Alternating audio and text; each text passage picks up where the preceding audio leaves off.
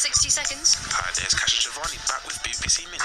First to Iraq, anti-government protesters are continuing to try to block main roads in Baghdad and other cities as they campaign for political reforms. It's after their deadline for the government to respond to demands expired. Tanzania now, as many as 20 million mobile phone users are expected to be disconnected today. Authorities are enforcing a deadline for people to register their SIM cards in a crackdown on cybercrime.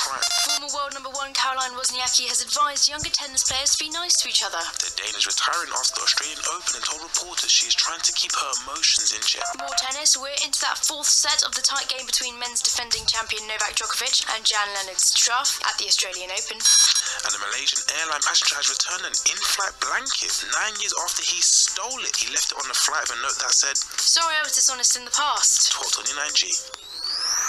BBC Minute. Day one. Japanese star Naomi Osaka even broke the net with one of her serves.